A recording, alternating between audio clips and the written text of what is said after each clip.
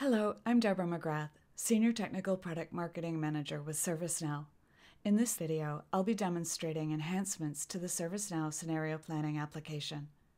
With recent uncertainties that have forced changes across corporate enterprises, it has become more important than ever for portfolio managers to be able to easily view, prioritize, plan, and replan their investments, including where and when they deploy resources.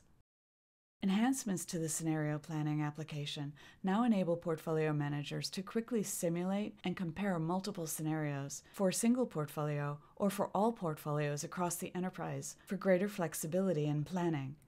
Additional filtering capabilities provide even more precise information about resources, budget, and business goals for even better decision making.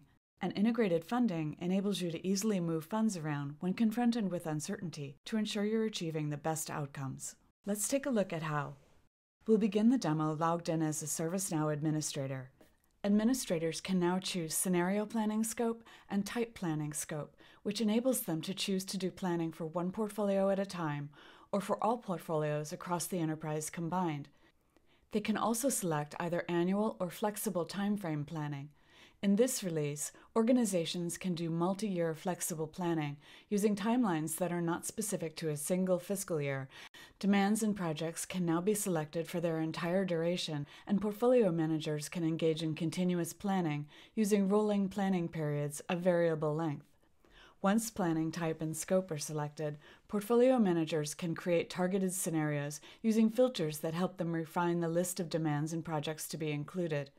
The filter restricts which records appear in a list on the bubble chart, timeline, and resource views by providing a set of conditions each record must meet to be included in the list. They can now toggle selected items to display just the demands and projects that have been selected for execution, or select unaligned investments to view demands that have no strategy or goal associated with them. It's now easy to analyze a portfolio based on monthly or quarterly resource capacity or just look at the resource groups that have been overallocated.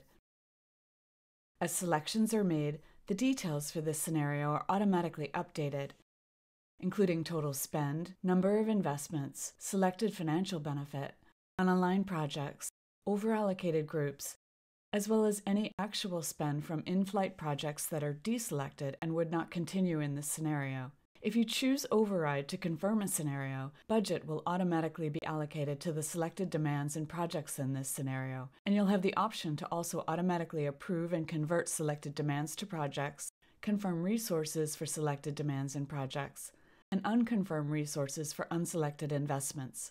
And if strategies change, or if any of these elements change, such as funding or resources, you simply replan as necessary. You just saw how enhancements to scenario planning provide greater flexibility for single portfolio planning or enterprise portfolio planning spanning multiple years, even more precise information for better decision making, and integrated funding to easily adjust investments to drive desired business outcomes. For additional information, visit servicenow.com/itbm.